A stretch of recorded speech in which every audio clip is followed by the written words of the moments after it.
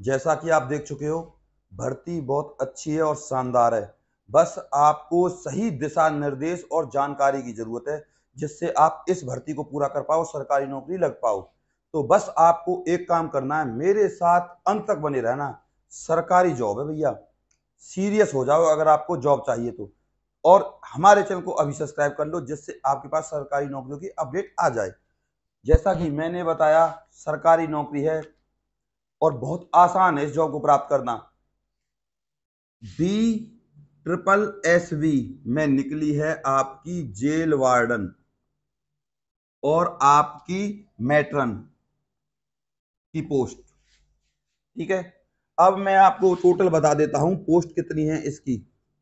Post रहने वाली है आपकी लगभग लगभग 4800 प्लस 4800 से ऊपर पोस्ट है। अच्छी खासी भर्ती है। एज 18 से 27 साल एस सी एस टी पाँच साल और ओबीसी तीन साल। जो सर्टिफिकेट आपका चलेगा इसके लिए सेंटर लेवल का सर्टिफिकेट आपके पास होना चाहिए। एज मैंने बता दी। ये है इस भर्ती की पूरी बात। अब क्लास मात्र ट्वेल्थ क्लास पास होना चाहिए। सिर्फ़ twelfth class. Job job Delhi में रहेगी आपकी। और दिल्ली में रहने के साथ साथ आपको सारी सुविधाएँ मिलेंगी। H R A T A D S रहना, खाना, पीना सब सरकार की तरफ़ से। ये तो रही ये बात। सैलरी की बात कर लू मैं आपसे। पच्चीस हज़ार पाँच सौ से इक्यासी हज़ार सौ रुपये मिलेंगे आपको। इक्यासी हज़ार सौ रुपए ये है इस भर्ती की सैलरी। अब मैं आपको बता दूँ, ये भर्ती आपकी ऑल इंडिया भर्ती है भैया। और मेल और फीमेल दोनों इस भर्ती के फॉर्म को फिल कर सकते हैं। इसके बाद, इसमें जो आपका एग्ज़ाम है ना, वो ही है, बस मैटर रखता है। फ़िज़िकल हो जाता है। फ़िज़िकल मैटर रखता ही नहीं है। दोबारा सुन लो फ़िज़िकल मैटर नहीं रखता एग्ज़ाम है बस। और एग्ज़ाम भी ज़्यादा हवाबाजी वाला नहीं है डी ट्रिपल एसवी का तो खासकर। क्यों? क्योंकि इसका एग्ज़ाम होता है आपका ट्वेल्थ लेवल का और इसमें जो आपका क्वेश्चन आएँगे, जो क्वेश्चन बनेंगे, इस बारे में आपको कोई नहीं बताएगा। टेंथ इलेवेंथ और ट्वेल्थ इन तीन क्लासों में से बनेंगे। नाइन्थ में से भी नहीं बनेंगे, आपको मैं बता दूँ, ये डी ट्रिपल एस है। जो दिया जाएगा, वो ही पेपर में आएगा। ऐसा नहीं है, राज्य, दूसरे राज्यों की तरह देते हैं कुछ, आता है कुछ। सेंटर का एग्ज़ाम है। Tenth, eleventh, twelfth. एनसीईआरटी की बुक लाइए, टेंथ, इलेवेंथ और ट्वेल्थ की। Exam clear. सबसे ज़्यादा आसान है इस जॉब को पाना। इसके बाद, अब मैं आपको बता देता हूँ इसका एग्ज़ाम का प्रोसीजर, यानी कि आपका सिलेबस। सबसे पहले अगर मैं सिलेबस की बात करूँ तो 200 क्वेश्चन है भैया। 200 मार्क्स के। ठीक है? इनमें 40 नंबर के आपकी आएगी इंग्लिश। 40 नंबर की आएगी आपकी हिंदी। 40 नंबर की आएगी रीजनिंग। 40 नंबर की आएगी आपकी जीके और सीए, जनरल नॉलेज और करंट अफेयर। 40 नंबर का आएगा आपका मैथ अब इंग्लिश के लिए नीतू मैम की बुक ले लीजिए, या आप ब्लैक बुक ले लीजिए. क्लियर इंग्लिश क्लियर अगर आपने ये बुक पढ़ ली तो. हिंदी के लिए लूसेंट ले लीजिए, सिर्फ़ लूसेंट और एक आती है करंट पब्लिकेशन की.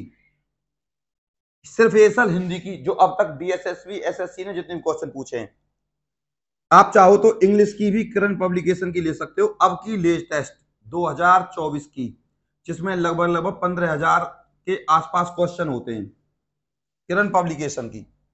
रीजनिंग के लिए और मैथ के लिए आपको मैं रिकमेंड करूँगा यूट्यूब पे से किसी अच्छे मैथ टीचर और रीजनिंग के टीचर की वीडियोस आप तसल्ली से देखें। और कम से कम उन वीडियोस को देखकर एक कॉपी पेन ले लीजिए और प्रैक्टिस करिए। रीजनिंग और मैथ प्रैक्टिस का गेम है, खेल है। अब आ जाते हैं जीके और सीए पे। जीके के लिए मैंने अभी आपको बताया किरण पब्लिकेशन की बुक किरण पब्लिकेशन की जीके के लिए। सी के करंट अफेयर के लिए स्पीडी स्पीडी एक आती है अरिहंत इनसे क्लियर हो जाएगी करंट अफेयर ठीक है? ज़्यादा हार्ड चीज़ें इन इस एग्ज़ाम में बिल्कुल भी नहीं पूछी जाती। अब मैंने आपको सिलेबस बता दिया प्लस में एग्ज़ाम क्लियर करने के लिए बुक भी बता दी। अब आपका फ़र्ज़ बनता है, सर, हमारी इतनी हेल्प कर रहे हैं तो हम सर के चैनल को सब्सक्राइब करें और इस वीडियो को ज़्यादा से ज़्यादा शेयर करें। ये आपका फ़र्ज़ बनता है। क्यों? क्योंकि मैं आपके घर में सरकारी नौकरी चाहता हूँ, चाहे कुछ हो जाए। इसके बाद, अब मैं ले चलता हूँ आपको इसके फ़िज़िकल पर। फ़िज़िकल जैसा कि मैंने कहा, ज़ीरो के बराबर है। सबसे पहले आप मेल का देख लीजिए, मेल। और चलो, फीमेल दोनों का ही बता देता हूँ। मेल में अगर मैं आपसे बात करूँ, देखो, हाइट 170 फीमेल में हाइट, आपकी बात करूँ, एक सौ सत्तावन। अब एससी और एसटी के लिए पाँच सेंटीमीटर की छूट होती है, ये सबको बता भैया, पाँच सेंटीमीटर की छूट है। इसके बाद, अब मैं आपको बता दूँ चेस्ट चेस्ट इक्यासी सेंटीमीटर पाँच सेंटीमीटर फुलाकर, यानी कि छियासी हो गई भैया। लड़कियों में कोई इसका लेना देना है नहीं। इसके बाद गोरखा के लिए पाँच सेंटीमीटर की छूट है भैया। हाइट में पहले बता देता हूँ, गोरखा के लिए। और एस सबको पाँच सेंटीमीटर की छूट मिलेगी। अब आ जाते हैं रनिंग पर। रनिंग यानी कि रेस रेस होगी सोलह 1600 मीटर की। कितने मिनट में होगी? छह मिनट में। इसकी लड़कियों की होगी 800 मीटर की। कितने मिनट में? 800 मीटर की होगी भैया आपकी चार मिनट में। आधा कर लो इसका। अब लड़कों के बारे में मैं बात करूँ तो हाई जंप। हाई जंप तीन पॉइंट चार। और लड़कों, लड़कियों के लिए हाई जंप, इसमें लड़कियों के लिए हाई जंप नहीं है, सिर्फ़ लॉन्ग जंप है। और लॉन्ग जंप है आपकी नौ फीट।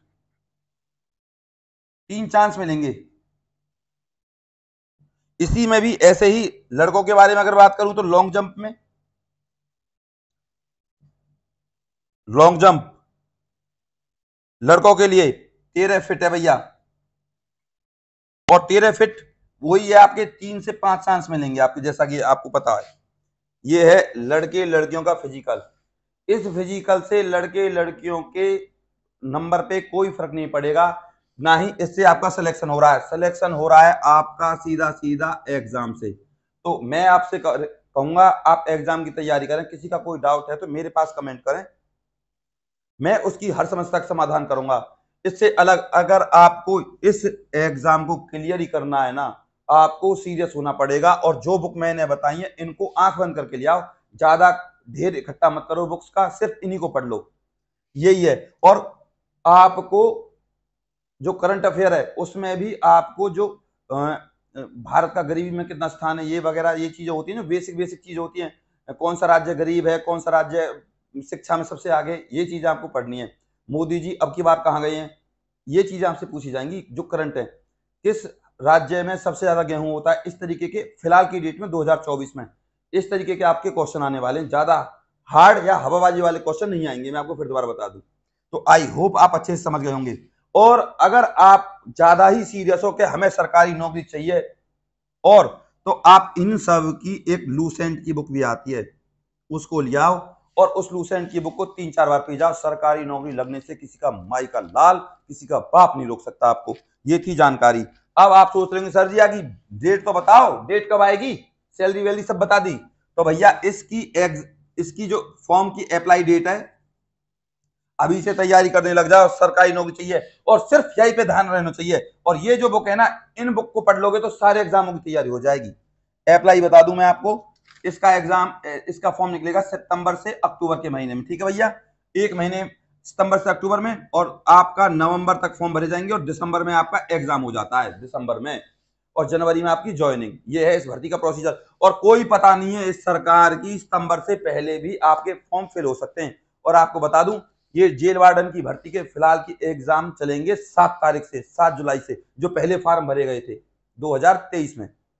तो सात तारीख से इसके एग्ज़ाम है, सात तारीख से लेकर चौबीस तारीख तक, यानी कि 24 जुलाई तक आपके एग्ज़ाम है 24 से शायद सत्ताईस सत्ताईस जुलाई है इसकी शायद।